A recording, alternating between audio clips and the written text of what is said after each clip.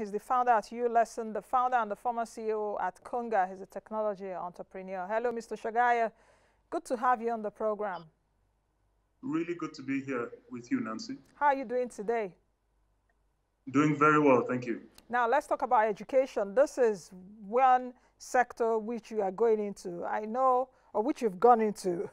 I know you are, you know, an innovator. You founded Konga DealDey, I guess, yes, if I'm not mistaken you know, and now the other project is uLesson, so education. And it seems that during this pandemic is, or perhaps a, a little before the pandemic was when you entered this sector with uLesson. Now speak to me about what you've been able to gather, how far we have, we have come as a country in our educational system, especially during this lockdown till now. How have we fared? Well, I, I think um, historically, um, well, you, you, can answer the question in two parts.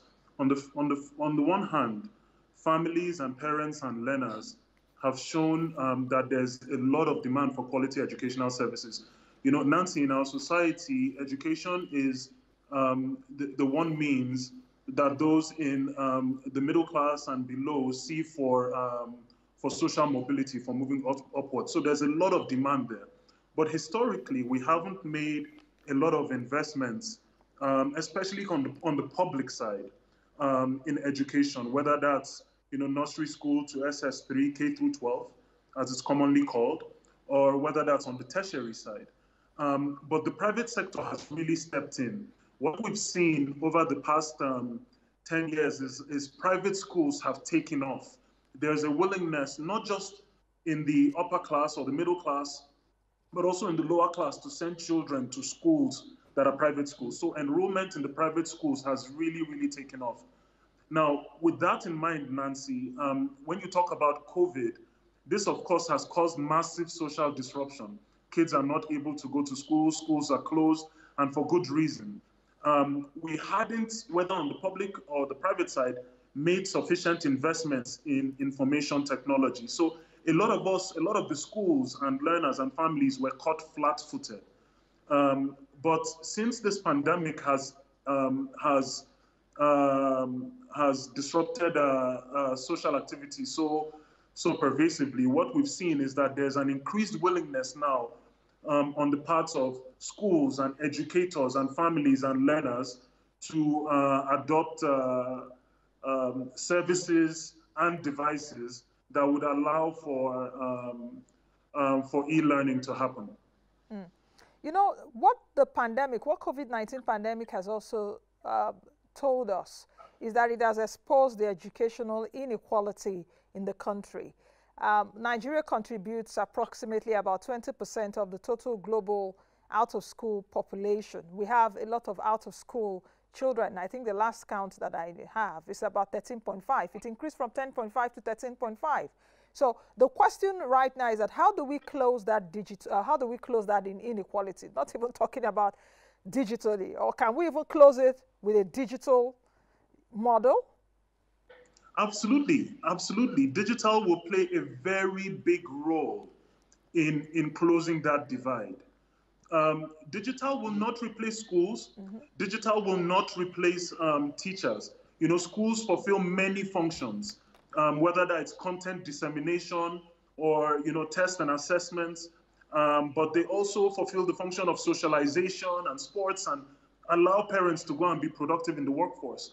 But what we found is that we have massive deficiencies in um, the number of teachers, in teacher quality, so digital is going to play a big role in that.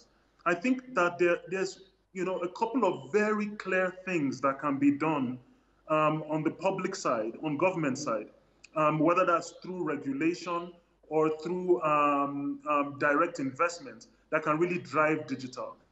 I think as a matter of urgency, um, every school in the tier one and tier two cities of Nigeria should be connected to the internet and whether that's a public school or a private school. And I do think government can have a massive role to play. You see, the internet, and then to some degree also devices, they are like the foundation. Once you lay this foundation, then companies like uLesson can start to layer on services that can really improve learning outcomes improve the financial health of schools, allow them to do much, much more with less. You know, we have basically built a service that takes some of the best teachers in our country and, um, and allows us to basically present content in physics and mathematics and chemistry and biology, basic science, business studies, and make that available to schools and to families and learners. Um, in order for us to push that content through, this foundation of internet to schools and devices through to schools must be laid. Once that foundation is laid, then folks like us can start to put these rich services into schools. There is no reason that we as a society, again, whether it's on the public side, government, or on the private side, should have to invest as much as other societies, say in the Northern Hemisphere, in the West, mm. have invested. We can do so much more in a much more capital efficient manner, Nancy. You know, you, you're saying quite a lot of things. And when you're talking about investment, especially around infrastructure, to enable guys like you and other entrepreneurs go into that sector and, you know, with what you're doing right now, what comes to my mind is that can, can that be achieved? And if it can, how quickly? Because it seems the pandemic caught everyone unawares and it worsened yes. our educational system. In fact, uh, I don't even know if we have a learning crisis right now. But if you take a look at it, we may have. Because for those yes. that have been able to adopt the digital system or the digital way of learning at this time, it's perhaps for folks, for parents that have the money. A rural, a person in the rural place right now, a rural schoolboy, has not even seen what a computer is. And you're telling the person to come and study, you know. So, mm. so how can that gap be filled quickly, especially in an environment where the economy is supposed to be in a recession if we continue this downward trend, and where the government is also lacking money? Yeah, so, um, you know, there are a couple of things that are happening that give me a lot of optimism at the same time.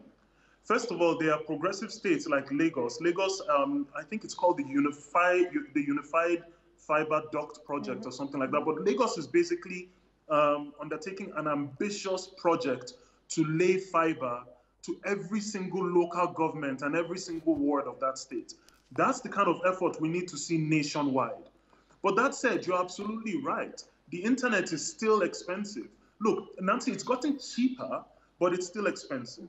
You know, five, six years ago, the cost of internet to a household in Nigeria was 12.5% of household income. That's a lot of money, 12.5% of household income going to just data. That number has now dropped. I think we're now in the 6 to 7% range, but we're certainly not in the 2% range of Asia.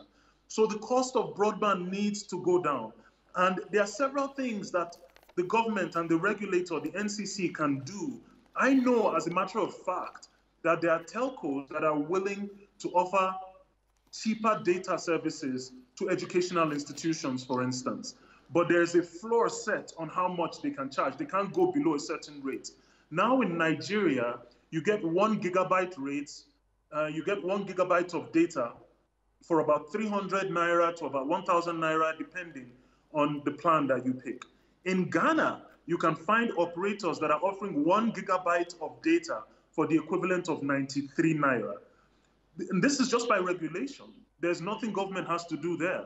So that floor needs to be lowered, especially in the context of, um, of education, especially for that sector. Um, then, of course, there's devices. You mentioned devices. There are kids in a rural area that have not seen a laptop, not seen a computer. And in this age, in 2020, that really is a travesty.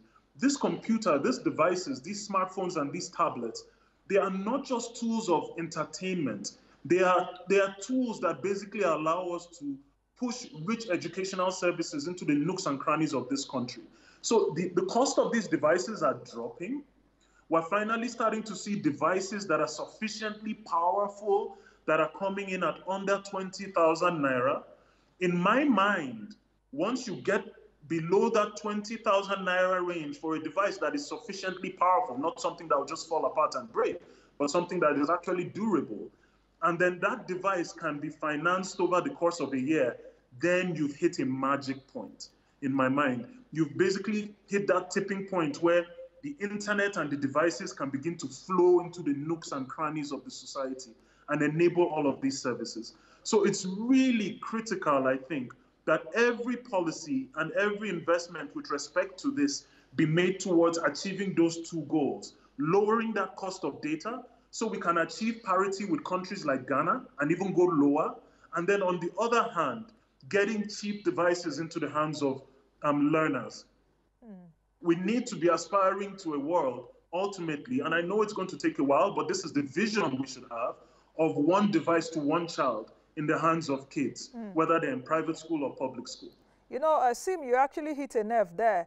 And what you actually said that hits me is not just having about cheap devices, but cheap and durable devices, not something that would just break. I thought I was the only one that was noticing that, you know, in terms of, you know, you, you see even devices that are more expensive than the 20,000 naira now. And when a child or a kid just holds it, in the next like one month it's broken and you can fix it. So I was actually wondering, is it uh, about handling or so? But with what you said now, you've actually put in some kind of perspectives to it that shouldn't just be only cheap, it should also be durable if we want to achieve that one child, one device uh, strategy. Good one there. Yes. Now, let, let, us talk about perhaps the learning model that will suit our localized system.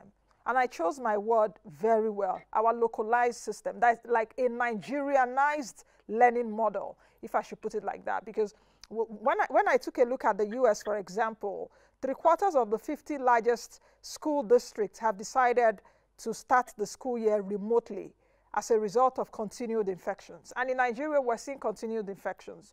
Parents are still skeptical of even sending their children back to school. What kind of learning yeah. model should we have? Should we just stick with remote or we should do the hybrid model? That's the mixture of both for the benefit of my viewers. Yes, no, that's a really good question. And your observation is really on point. This pandemic, you know, it's starting to look like it's going to be with us into next year.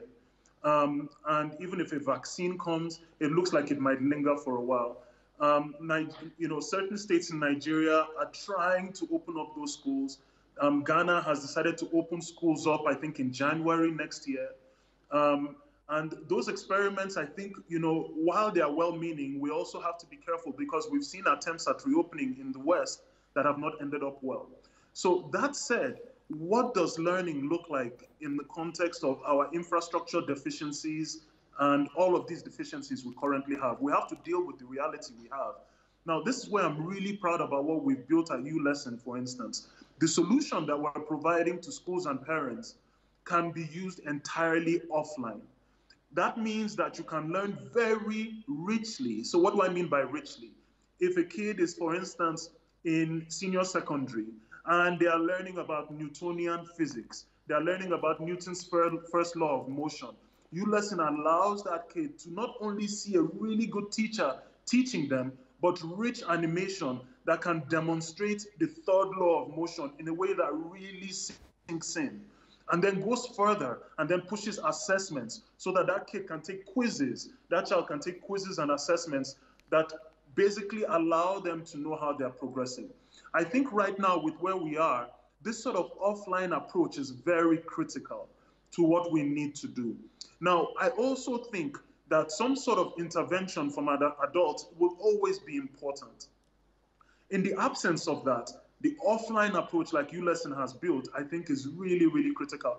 But you will need that, um, that intervention always. When we think about the teachers that mean a lot to us, that teacher that really made us believe in ourselves, we never really remember them necessarily because of the academics strictly, but because of how much they believed in us. So I do think that you do need that hybrid approach. Um, and this is what goes back to what I was saying before, that schools and I think in the future, private schools will play a very huge role in, um, in uh, educating the population where the public system has not done as well. Mm. And that's fine. That should be allowed to happen. Um, but those private schools will find that they will struggle if they do not make investments in digital infrastructure and technology. But Sim, Over the first... Sim, hold on. It would also disenfranchise a lot of our children that are in public mm. schools. You know, uh, it would disenfranchise a lot of people. We have 13.5 million people out of school. Even some uh, private schools are struggling as we speak. Yes. Right, and because it's no, it's a crisis. You're absolutely right. 13.5 million kids out of school is unacceptable. It is no less than a crisis without being dramatic. Something has to be done about that. But I do think that we are, like I mentioned, if we are not there in 2020, I think by the end of 2021, these things are happening right now. The world is making massive innovations in devices that are driving down costs. Internet can be cheaper, even right now in Nigeria, without investment, just because of regulation, internet can be cheaper. We can start to get into the public schools, at least in the tier two cities, in the capital cities. You know, adoption of technology is something that's gradual the first technologies are always adopted by the wealthy, and then they make their way into, you know, I you will remember, you know, what we Nigerians popularly call, you know, not nine not, not, yes. not nine yes. not. Yes, 090, mm-hmm. the first analog phones. Those were only available for the super wealthy in Nigeria. They had subscriptions of 20,000, 30,000 people across all of Nigeria. Now you have a country with, you know, 100 million phone lines. So this is what's going to happen. I think by deliberate, conscious effort on uh, by government on the part of um, um, broadband and devices, we can, in the very short term, get into at least the tier two cities, the capital cities, and some states have more than one, you know, tier two city, and then over the years start to push into the rural areas. This is something that can be done right now. Okay, Sim, in your own honest opinion, and take off your entrepreneur hat, take off your your capitalist hat for a second and honestly answer this for me. If you think our schools should reopen fully, uh, Kenya announced just a few uh, time ago that their schools will remain closed to 2021. In fact, in Philippines, the government announced that the schools will be reopened until a vaccine is developed. So with your off-capitalist hat, do you think that we should fully reopen schools, apart from the exit classes that are open that we've seen, with continued rise in, in, in infections?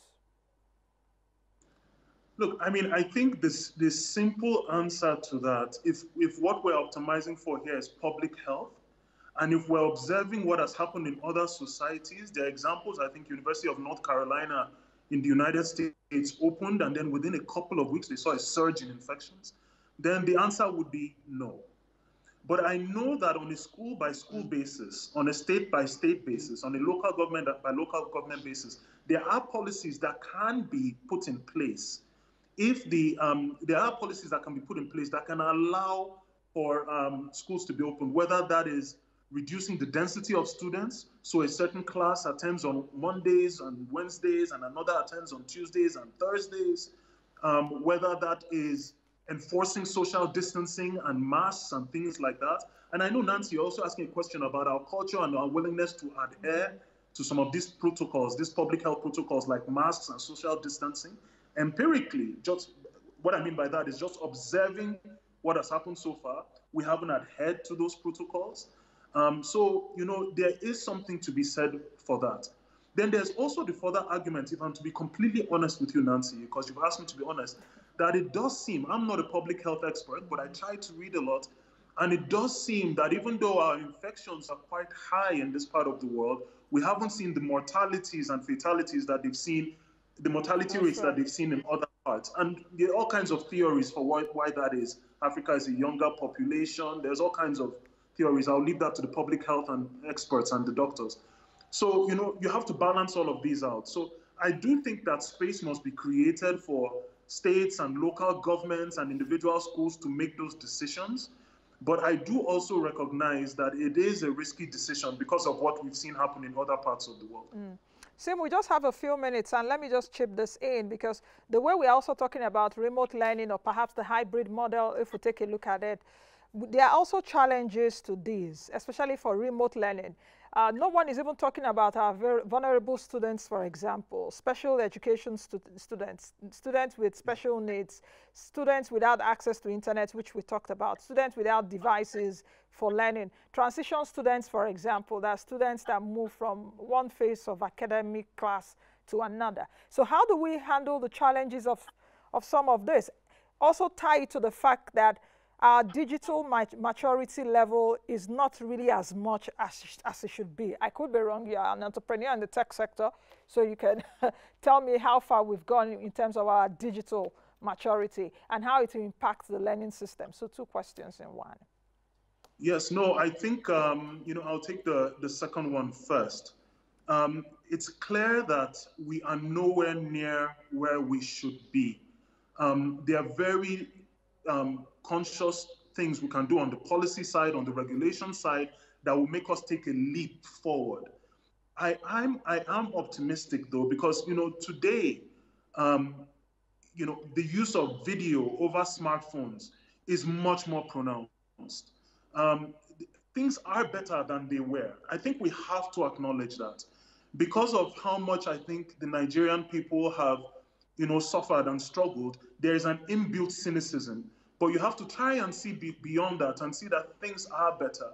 It is um, getting more normal to see even a low-income person, like a driver, for instance, um, or the man that mans a gate, watching video on their smartphone. So this tells you that the infrastructure and the services are getting better. Are they where we need to be? Not by any means. Um, there are other things also that we need to do, like I've mentioned, including internet access. There are still entire segments of this population that are off the networks. Um, they're just off the networks, and the service quality is really, really bad.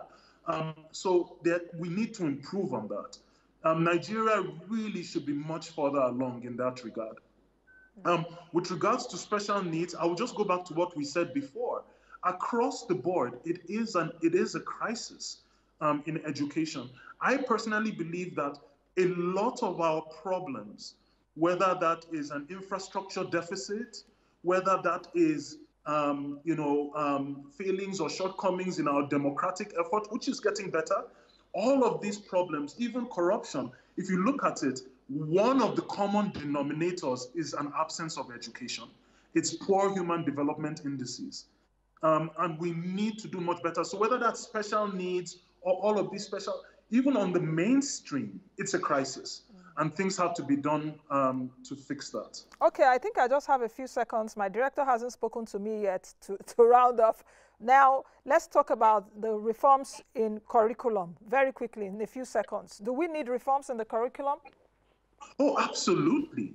Um, you know, India, for instance, just went through a massive overhaul um, and uh, massive curriculum reforms and have now made software coding, has now made software coding um, as part of its core curriculum. By the very fact that the nature of the work environment has changed, that there are job titles now that didn't exist before, digital marketer is a big job segment, even here in Nigeria. That job literally did not exist 15 years ago. Tells you that we need to improve things. Um, the curriculum could be much more robust. There was a time I think we could really pat ourselves on the back and say that a Nigerian kid who has finished SS3 mathematics would go even to the United States and outperform a child there. Okay. We can't really say that anymore. So the curriculum absolutely needs reform to catch up with where the job market is, the skills needed in this 21st century, um, uh, the skills that are called for. We need to really rethink that, and it needs to be an ongoing exercise, I think. I want to say many thanks, Sim, for joining us on today's edition of the program and bringing in your perspectives on what we need to do for the learning sector or the educational sector to thrive. Thank you, Sim. Thanks for having me, Nancy. All right, I've been speaking with Sim Shagaya, who is the founder of uLesson. He's also the founder, oh, yes, he's the founder and the former CEO of uh, Konga. That's the much we can take on today's edition of the program. I hope uh, you're happy with your time investment today. Please join us again tomorrow for another edition. I am Nancy Nnaji. Don't forget to be the best version of yourselves and keep safe.